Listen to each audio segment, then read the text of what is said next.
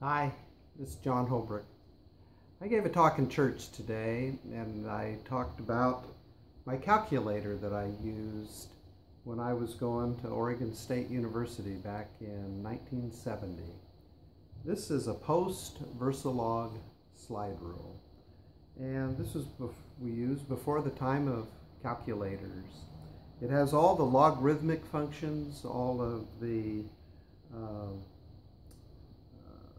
functions that you'd need that the modern day calculators have.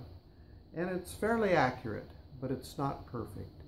One of the things you have to use when you're using a calculator is you have to be able to interpolate the decimal point. And also you have to be able to know if it's 50, 500, or 5,000. And you get a sense for that with experience. You have to keep track of your decimal point or you won't be able to come up with the right answer. And I know that many of you have never seen one of these. It uh, costs uh, $30 back in 1970. I've kept it all these years.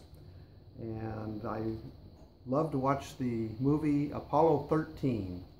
When you hear them say, Houston, we have a problem, you see all the engineers in the NASA Space Center reach for their slide rule to make their calculations. So uh, it's good to know that a slide rule, although it's not perfect and completely uh, accurate, it's accurate enough to put a man on the moon.